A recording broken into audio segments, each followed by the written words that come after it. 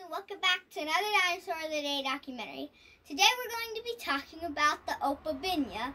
Now you're probably thinking, what in the heck is an Opabinia?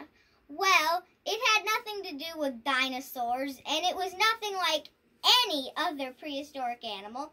Just like trilobites, it didn't have any living relatives today, and unlike trilobites who horseshoe crabs look like them, but they aren't related to horseshoe crabs, the Opabinia had nothing that looked like it in these days, and it had nothing that it looked like back then, and it was had nothing to do with anything else back then. It lived at the time of when trilobites were around in the Cambrian. It started coming in the early Cambrian, so it was one of the first organisms with eyes, actually, but it didn't have just two ordinary eyes like we have. It had five eyes. It had four or two pairs of eyes, which made four, and then a spare one in the middle. And they didn't have pupils and all that stuff. It looked like like lumps of coral or something growing out of their face. It was like like blue things. It was just weird.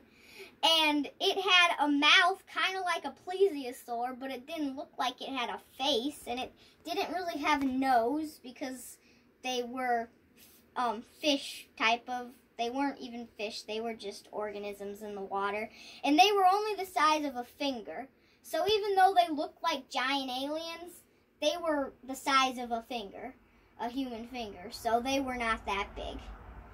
Thank you.